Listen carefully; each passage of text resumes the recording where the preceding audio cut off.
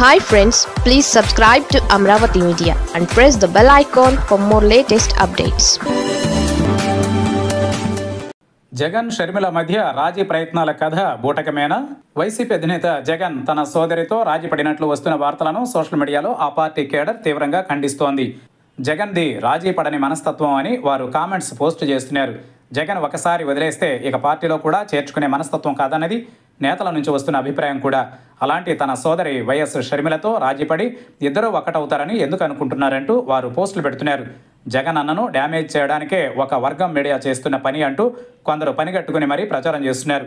అయితే ఈ వచ్చిన వార్తలను జగన్ కానీ అటు వైఎస్ షర్మిల కానీ ఖండించకపోవడంతో కొంత నమ్మాల్సి వస్తుందని మరికొందరు నేతలు చెబుతున్నారు. వైఎస్ జగన్ వైఎస్ షర్మిల ఇద్దరు అన్నా చెల్లెళ్ళు అయినా అంతకుమించి అనుబంధం ఉన్నవాళ్ళు. కానీ అది ఒకప్పుడు. అయితే అది రెండు వేల పంతొమ్మిది ఎన్నికల నాటికే. రెండు వేల పంతొమ్మిదిలో జగన్ ముఖ్యమంత్రి అయిన తరువాత ఇద్దరి మధ్య పొరపచ్చాలు తలెత్తాయి. వైఎస్ షర్మిల తెలంగాణలో పార్టీని పెట్టినా జగన్ సహకరించలేదు.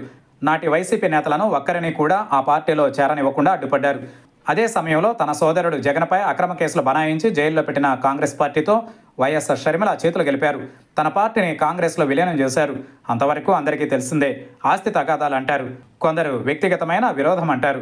జగన్ అధికారంలో ఉన్నప్పుడు వైఎస్ఆర్ షర్మిల డిమాండ్లకు తలొగ్గ లేదని ఇద్దరి మధ్య దూరం పెరిగిందనే వారు కూడా లేకపోలేదు. ఈ పరిస్థితులలో వైఎస్ జగన్కు రెండు వేల ఇరవై నాలుగు ఎన్నికలలో వైఎస్ఆర్ షర్మిల అడ్డం తిరిగారు.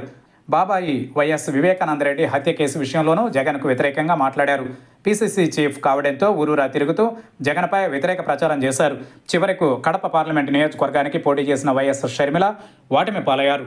అంతవరకు ఓకే. పీసీసీ చీఫ్గా ఆమె చేసిన విమర్శలు కావచ్చు జగన్ ప్రభుత్వంపై ఉన్న వ్యతిరేకత కావచ్చు. మొన్నటి ఎన్నికలలో వైసీపీ దారుణంగా ఓటమి పాలైంది. అయితే జగన్ పార్టీ ఓటమి పాలైన తర్వాత కూడా వైఎస్ షర్మిల విమర్శలలో పదును తగ్గలేదు. జగన్ను అన్ని విషయాల్లో సమయానుకూలంగా ఎండకడుతూనే ఉన్నారు. ఓటమి తరువాత హైదరాబాద్లోని లోటస్ పాండ్కు కూడా జగన్ అడుగుపెట్టలేదు అంతేకాదు అక్కడ ఉన్న తన తల్లి విజయమ్మను కూడా చూసేందుకు వెళ్ళలేదు. వైఎస్ జయంతి వర్ధంతి నాడు ఇడుపులపాయలో కలవడం తప్పించి ప్రత్యేకించి విజయమ్మతో భేటీ అయింది కూడా లేదు. ఆయన బెంగళూరుకు వెళుతున్నారు. అలాంటి వైఎస్ జగన్ తన సోదరి వైఎస్ షర్మిలతో రాజీ పడతారంటే ఎవరు నమ్ముతారంటూ సోషల్ మీడియాలో వైసీపీ అభిమానులు జగన్ ఫ్యాన్స్ పోస్టింగ్లు పెడుతుండడం విశేషం. అందులో నిజం కూడా లేకపోలేదు. జగన్ ఎవరి మాట వినరు. ఒకసారి వదిలించుకుంటే ఇక వారి మొహం చూసేందుకు కూడా ఇష్టపడరు. అలాంటి వ్యక్తిత్వం ఉన్న జగన్ రాజీ పడతారంటే తాము నమ్మలేమంటున్నారు. అధికారిక ప్రకటన వస్తే తప్ప తాము నమ్మబోమని చెబుతున్నారు. మొత్తం మీద అన్నా చెల్లెళ్ళ రాజీ వ్యవహారం ఇప్పుడు ఏపీ రాజకీయాలలో హాట్ టాపిక్గా మారిందనే చెప్పాలి.